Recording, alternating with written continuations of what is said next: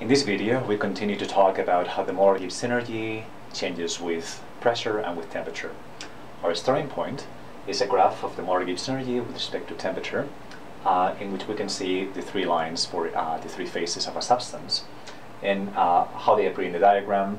And this tells us what the stable phase uh, of the substance is at any particular uh, temperature. And for this, we have that the pressure is constant.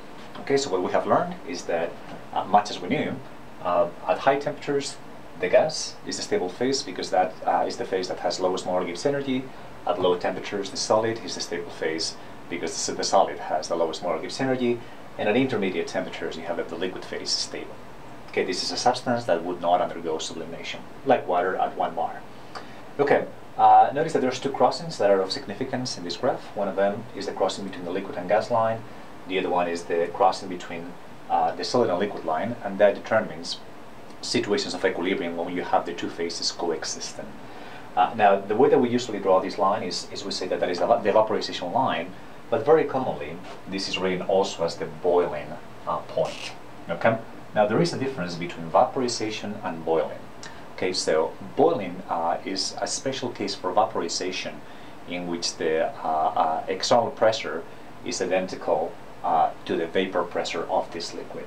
Okay, so that's that's kind of a, a little convoluted right now, uh, uh, but essentially uh, what this means is that you can have this, this type of vaporization if the vapor pressure, again, of the liquid, and we'll explain uh, what that means a little bit later on, that is identical to the external pressure. Under those conditions, you see the bubbling, okay, of the liquid, and that's what we call boiling. Notice you can you can have vaporization without boiling, right? If we put here a drop of sweat in our skin, uh, that will vaporize without boiling. Okay, so that equilibrium can happen on your skin, okay, without boiling. Uh, and again, that means that, that evaporation can take place without boiling. Okay, great. Now the next uh, uh point that we're going to discuss is see how this diagram uh, would be affected by a change in pressure.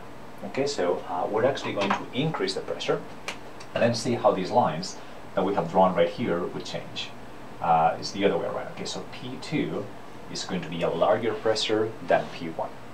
All right, to figure this out, uh, uh, then what we're going to do is take any point in any of the lines, say for example this one, and then see how the molar Gibbs energy, which is this function, would be affected by pressure. Okay? To do that, we refer to the original expression that tells us the dependence of the molar Gibbs energy on pressure and temperature. Then we would freeze the temperature, which means that in this graph we're just going to be moving uh, at constant temperature, that means in a vertical direction, and then we'll see what happens to the molar Gibbs energy when you, when you increase the pressure, which is what we're trying to do here. Okay, well, notice that uh, when you, this is the dependence of the molar Gibbs energy on pressure, right? So if you increase the pressure, that means that the Gibbs energy increases according to the value of the molar volume. Okay, so for a gas, we know that the molar volume is very large compared to that of the liquid or the solid phases. That means that if we increase the pressure, then the uh, molar Gibbs energy is going to increase by quite a lot. Okay, so uh, at this point, uh, at a pressure P2, which is higher than P1, would be offset, okay, and this difference is proportional to the molar uh, volume of the gas. Alright, you can do this then for any single other point in the line. For example, take that one, and then do exactly the same thing, right? So that point is going to increase, uh, you'll have that that will be offset like this, and you can do it for every single point in the line, and eventually what this is going to mean is that you're going to have a new line, okay, which is going to be like this, parallel to the original line that you have, okay, it should be parallel more or less, uh, and uh, uh notice that the slope doesn't change, right? Notice that the variation of this molar Gibson with temperature should be the same. In both cases, that slope is equal to the minus molar entropy of the gas. And here's the minus molar entropy of the gas as well. That minus molar entropy of the gas doesn't change much with the pressure. That is an, an approximation that we're making. So let me see if I can write that here. That slope is still the minus molar entropy of the gas. Okay, and because we're considering that these changes in pressure are not great, then that, that, that should not change the slope of the, of the line. Okay, great. Now we can do exactly the same thing for the solid and the liquid right? So uh, uh, essentially we just examine how these lines, the, the solid and the liquid, how those would change for an increase in pressure. Well, again, much as before, we increase the pressure, then the molar Gibbs energy should increase accordingly to the molar volume. But here's an important um, thing to think about.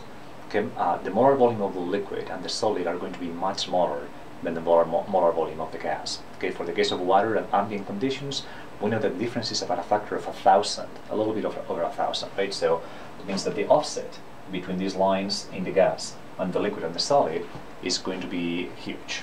Okay, uh, uh, or the difference in the offset, right? So the gas lines will be offset by a lot, and the uh, liquid and solid line won't be offset by as much. Okay, so let me see if I can do that. Okay, for the liquid, I'm just going to draw it like this. Uh, here is the line of the liquid. Okay, so that is the uh, how the line would look like at a higher pressure.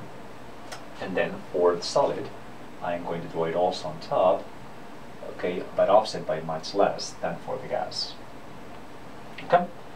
Something that should be apparent here is that I've chosen to offset the liquid line a little bit more than the solid line. And there is a reason for that. Okay, it turns out that for more substances, for most substances, the molar volume of the liquid is greater than the molar volume of the solid. That means that when you have uh, the liquid and you freeze it, then uh, that system contracts. The volume goes down by a little bit. And again, that happens for most uh, substances except for water.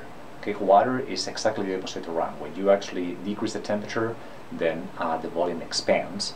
Okay, and we'll have to examine how that will change this, this graph uh, in the next video. But for now, what we can actually see is what happens to the crossings of the lines under the new pressure. Okay, so now we examine here uh, the red lines and see what the crossings are. And we see that, well, uh, the crossing between the gas and liquid lines now occurs at this particular point, right? So that is your new boiling point uh, at a pressure P2, and then the freezing point uh, takes, takes place up here. Okay, that would be your freezing point here. Okay, so this is kind of interesting. We see that we can actually change the freezing point and the boiling point of a substance okay, by changing the pressure. Okay, when you increase the pressure to this substance, and again, this can be anything that is not water. Okay, uh, uh, notice that the boiling point goes up. That means that you can get the liquid hotter than at lower pressure without uh, transforming into the gas. And the freezing point also goes up. That means that you can get the solid past the renal uh, fusion point uh, uh, without that solid turning into the liquid. Okay, only when you get to this temperature, you will actually see that the solid turns into the liquid. Okay, something that is also interesting to note is that the difference in the boiling points is a little bit larger than the difference between the freezing points. And this is something that also happens uh, quite frequently. Okay, so this is how pressure affects uh, uh, the phases uh, or the temperature uh, dependence of the phases of a substance. Okay, for a substance that is not water.